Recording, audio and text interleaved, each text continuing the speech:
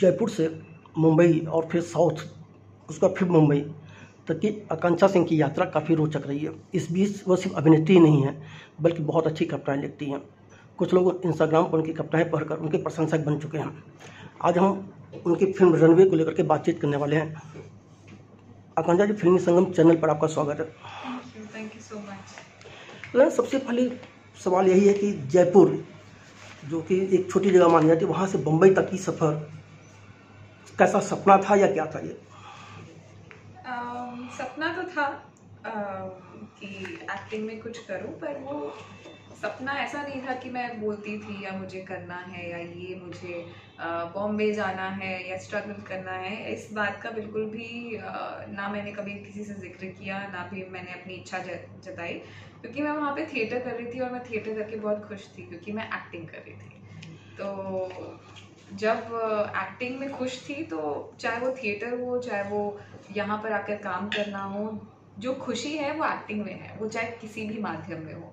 तो I think वही चीज़ मुझे बॉम्बे तक का सफ़र तय करके लेकर आया है।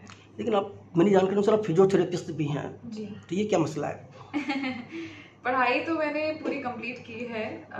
जब मैं फिजियोथेरेपी कर रही थी तभी मुझे एक मौका मिला था अपने टेलीविज़न शो के लिए। तो उसी के लिए मैं बॉम्बे आई थी पर मैंने पढ़ाई छोड़ी नहीं मैंने अपना पूरा पढ़ाई की है। uh, और एक्टिंग uh, मैं साथ के साथ कर ही रही थी क्योंकि मैं थिएटर कर रही थी तो मेरा कॉलेज और मेरी पढ़, जो एक्टिंग है वो साथ साथ चल रही थी।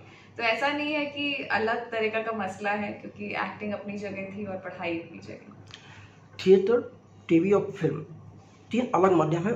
आपको सबसे ज़्यादा संतुष्टि कहाँ मिलती है?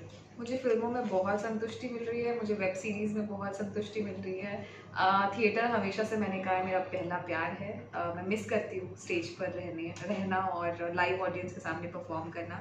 तो मुझे पता नहीं कि दोबारा मौका कब मिलेगा ऐसा लाइव स्टेज पे जाने का पर आ, मैं खुश हूँ। जहाँ मैं आज हूँ मैं वहाँ खुश हूँ और मैं ये चाहती हूँ कि यहाँ से बस सफ़र आगे ही बढ़ता रहे और ऐसे बहुत सारे किरदार करने का मौका आपको जो अभिनय करियर है उसमें टर्निंग पॉइंट किसे मानती है? टर्निंग uh, पॉइंट मेरा सबसे बड़ा यही टर्निंग पॉइंट था कि जयपुर में जब मैंने सोचा नहीं कि मैं एक्टिंग uh, के लिए बॉम्बे कभी जाऊँगी मैं बहुत खुश थी वहाँ अपनी पढ़ाई करके और थिएटर करके। और एक दिन अचानक फ़ोन आता है कि आपको बॉम्बे शिफ्ट होना है तो मेरे लिए तो टर्निंग पॉइंट वहीं हो जाता है। तो मेरा सफ़र ही टर्निंग पॉइंट से स्टार्ट हुआ है मेरी लाइफ ही पूरी चेंज हो गई वहाँ से। और uh, तो वो है मेरा टर्निंग पॉइंट आपने जब पहली तेलुगु फ़िल्म की उस वक्त बॉलीवुड और तेलुगु फ़िल्म या साउथ की फ़िल्मों की काफ़ी गैप माना जाता था। आज वो स्थितियाँ बदल चुकी हैं। उस वक्त आपकी क्या सोच थी? मेरी कभी भी किसी भी माध्यम को लेके कोई एक पर्टिकुलर सोच नहीं रही है। मैंने सिर्फ़ अच्छा काम चाहा है चाहे वो किसी भी माध्यम में हो या किसी भी लैंग्वेज में हो। अगर वो काम मुझे बॉलीवुड से मिलता है तो मैं करूँगी। अगर वो काम मुझे साउथ फ़िल्मों से मिलता है तो मैं करूँगी। अगर वो काम मुझे वेब सीरीज़ के ज़रिए मिलता है तो मैं करूँगी। तो माध्यम मेरे लिए मायने नहीं रखता। क्या मायने रखता है? अच्छा काम। तो अच्छे काम के लिए हमेशा मैं रेडी हूँ। फिर भी दस साल का आपका करियर हो गया। इस दस साल में जितना काम करना था उतना आपने काम नहीं किया। जी। उसके पीछे कोई आपकी सोच है या कुछ खास तरह का ही काम करना है? मैं ना बहुत लालची एक्टर हूँ। मैं अपने आप को लालची एक्टर कहूँगी क्योंकि मैं लालच ज़्यादा काम करने का नहीं है। लालच है अच्छा काम करने का।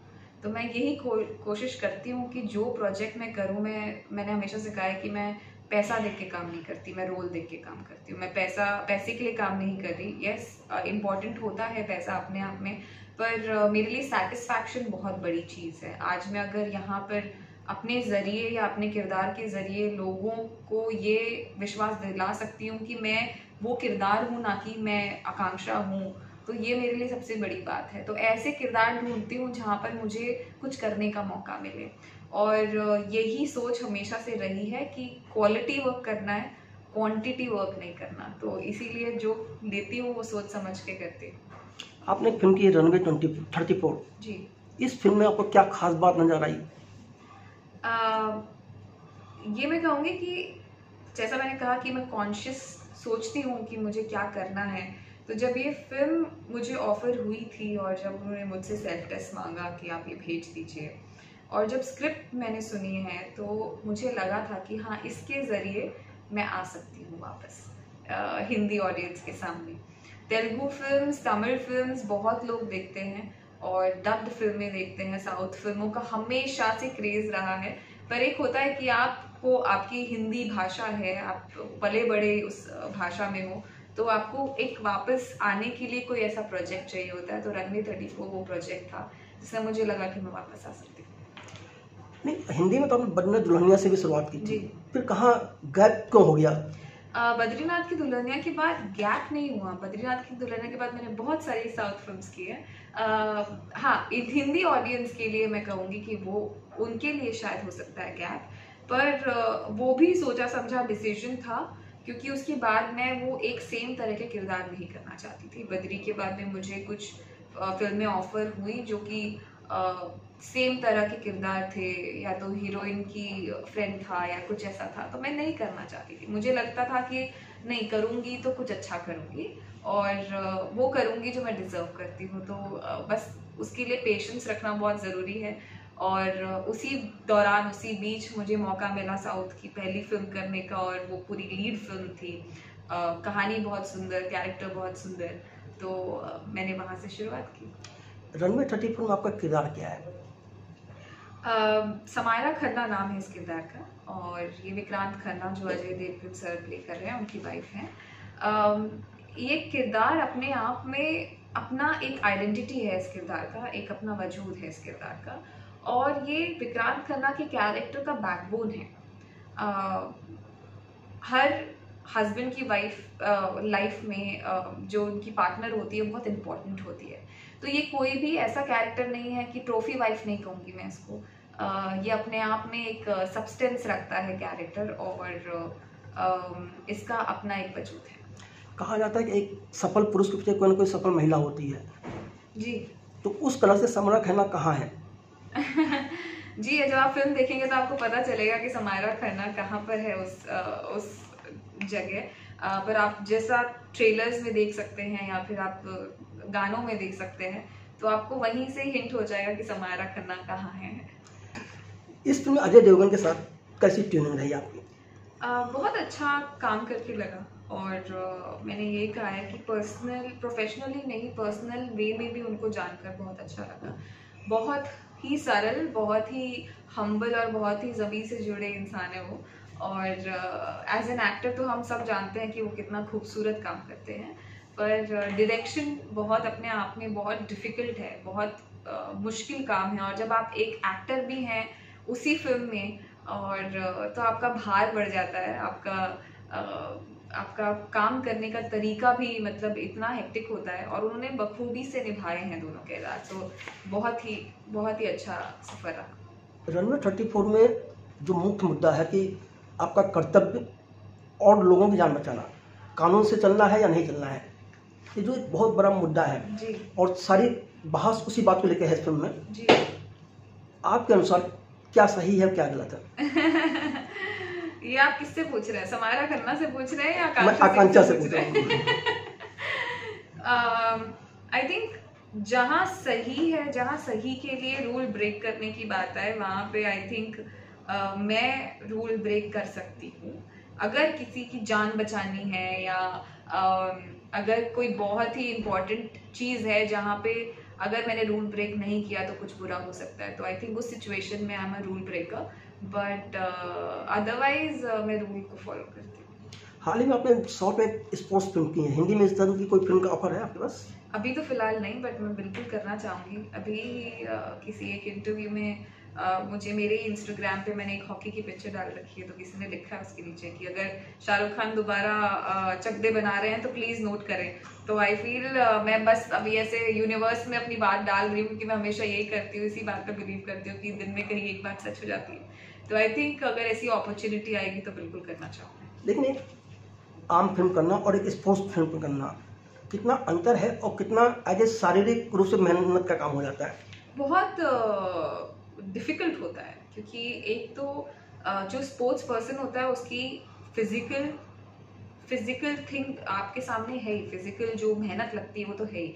उसको मेंटली स्ट्रांग होना भी बहुत इम्पोर्टेंट होता है। तो आई थिंक हर स्पोर्ट का अपना एक अलग चाम तो है ही, साथ के साथ मेहनत भी अलग तरह की है। तो बहुत डिफ़िकल्ट है एक किरदार के लिए उस चीज़ में अपने आप को ढालना और उस तरह का स्पोर्ट्स खेलना या फिर सीखना तो बहुत ही चैलेंजिंग होता है। स्पोर्ट्स फ़िल्म करने के बाद आपने ऐसी कौन सी बात सीखी जो आपको लगता है एक्टर भी हर इंसान में होना चाहिए? आई um, थिंक जो आप करें वो पूरी लगन से करें मुझे ऐसा लगता है क्योंकि जब मैंने जब वो मैंने ट्रेनिंग अपनी स्टार्ट की थी या उस दौरान जब मैं हॉकी खेल रही थी तो मैंने एक चीज़ तो पूरी तरह से नोटिस की थी कि इधर नहीं उधर नहीं। जहाँ है वहीं पे ही आपको अपना ध्यान रखना है। तो आई थिंक मैं भी अपनी लाइफ में यही फॉलो करती हूँ कि इधर उधर की बातें नहीं जो काम आप कर रहे हो उस पर फोकस रखो और उसी पे चलो। नहीं उसमें जैसे मैं आपको बता रहा हूँ सर आप जोड़ सकते हैं उस चीज़ को दोबारा मैं तो उसको एडिट कर दूँगा। स्पोर्ट्स पर्सन हार जीत की परवाह नहीं करता। अच्छा। वो खेलने में क्यों तो वही चीज़ हर कलाकार को होना चाहिए फ़िल्म की सफलता नहीं, मैं आपसे ले सकती हूँ मैं आपको कट करने की ज़रूरत नहीं बिल्कुल भी। मैं आपसे ले सकती हूँ कि जैसा कि आपने बोला कि स्पोर्ट्स पर्सन हार जीत की परवाह नहीं करता।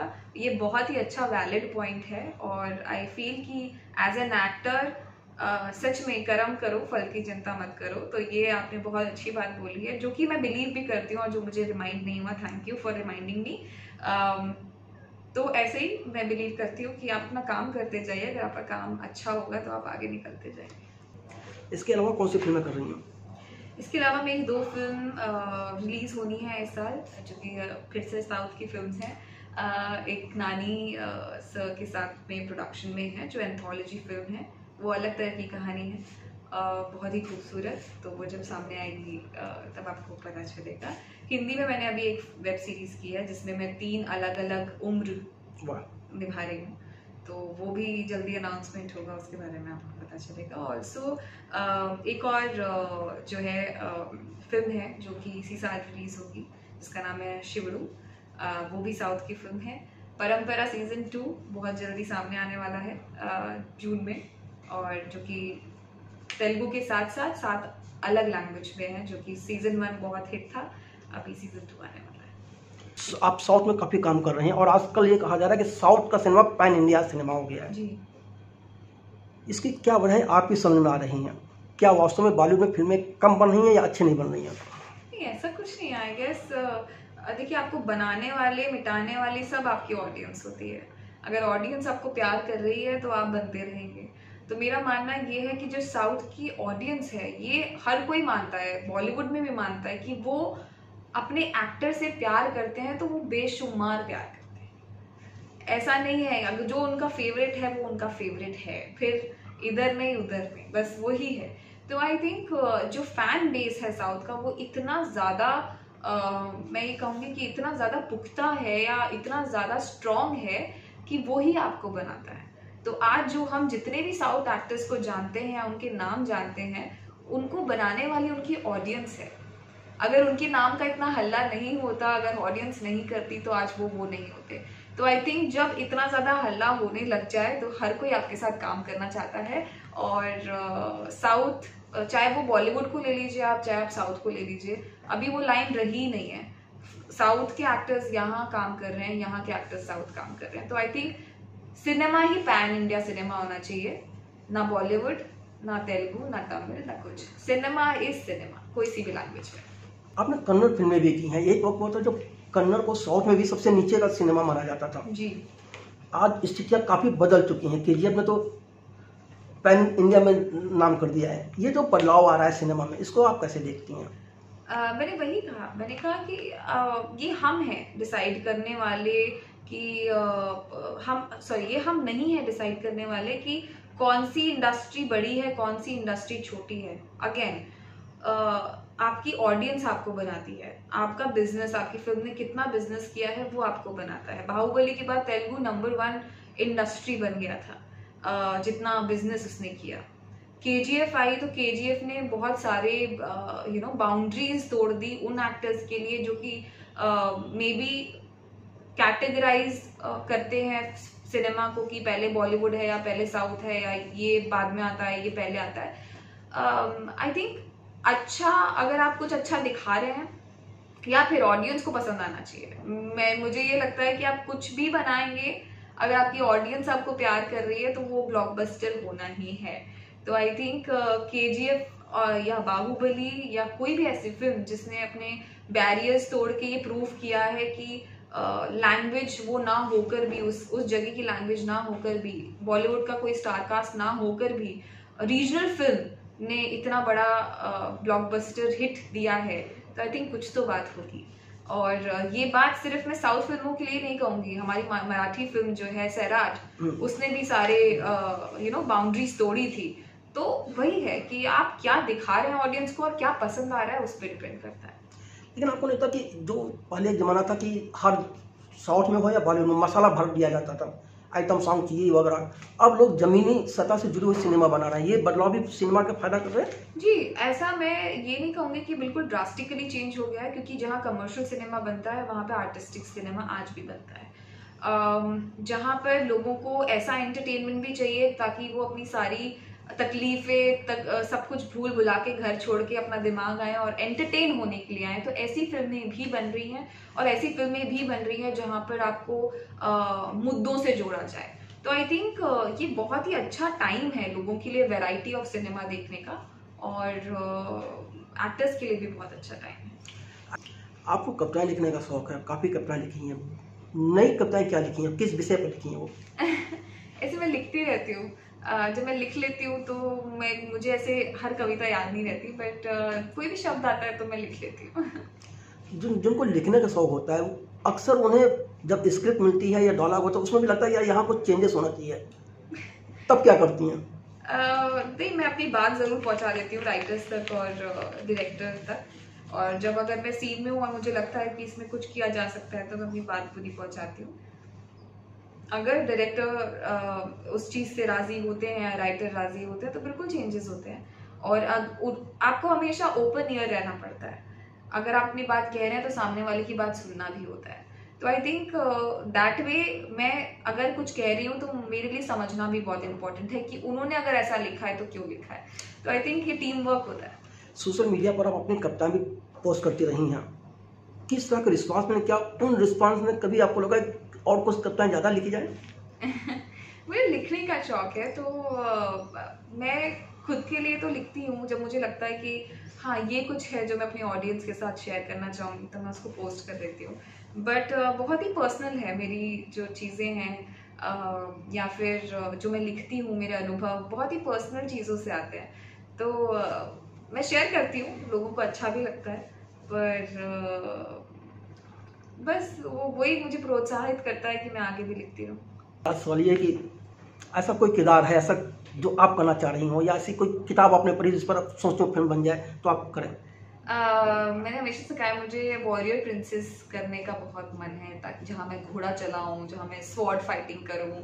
uh, एक बायोपिक में ज़रूर मेरी इच्छा है करने की महारानी गायत्री देवी की बायोपिक जो कि जयपुर से ही थी और उनकी बायोपिक करने की मेरी बहुत ऐसे मन में है तो मैं बस ऐसे यूनिवर्स में बोलती रहती कि मुझे करना है। तो ऐसे बहुत सारे किरदार हैं जहाँ मैं करना चाहूँगी। चलो ठीक है जी आकांक्षा जी फ़िल्म संगम चैनल से बातचीत करने के बाद बहुत बहुत धन्यवाद। Thank you so much thank you thank you